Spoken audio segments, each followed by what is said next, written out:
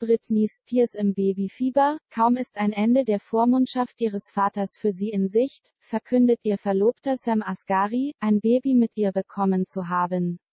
Oder macht er hier nur einen Scherz, exklusiv. Wir haben ein Baby bekommen, schreibt Sam Asghari, 27, am Dienstag 28. September 2021 in seiner Instagram-Story und fragt seine Community, wie sollen wir sie nennen? In dem Video ist seine Verlobte Britney Spears, 39, dabei zu sehen, wie sie im Takt zur Musik im Hintergrund den eigenen und den Kopf ihres Babys hin und her wippt und glücklich in die Kamera lächelt. Britney Spears, Verlobter Sam Asghari scherzt herum, bei der freudigen Verkündung handelt es sich natürlich nur um einen Scherz und bei dem Wonneproppen im rosafarbenen Strampler auf ihrem Arm lediglich um eine Puppe. Doch das Paar scheint sich als Eltern gar nicht schlecht zu machen. Ihr seht euch so ähnlich.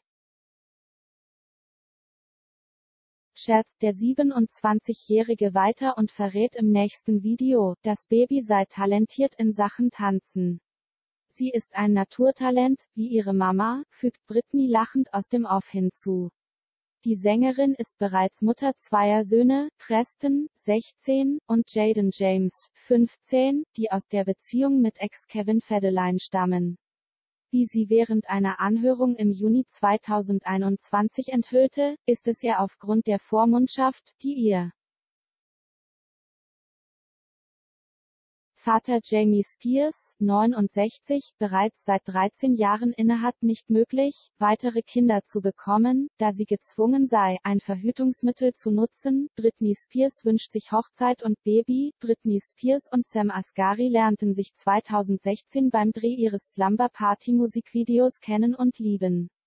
Mitte September 2021 nur fünf Tage nachdem Jamie Spears das Ende ihrer Vormundschaft beantragt hatte, verlobte sich das Paar.